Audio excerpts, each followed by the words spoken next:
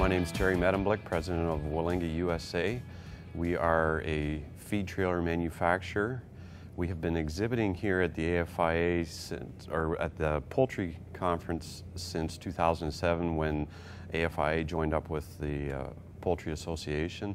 Prior to that, we always exhibited at the AFIA conference, which was held every other year. We, we've always felt that it's been um, a good tool for us for, you know, number one, building awareness, brand awareness, I guess you could say, and um, public relations, of course. It's a, it's a great venue to come to where we can show our wares to our customers. It helps us to position us within the market to show that, yes, we are a key player in the industry and that we have uh, a fair bit of product and different options and ideas to present to the industry to, in a sense, say, you know what, there is a different mousetrap.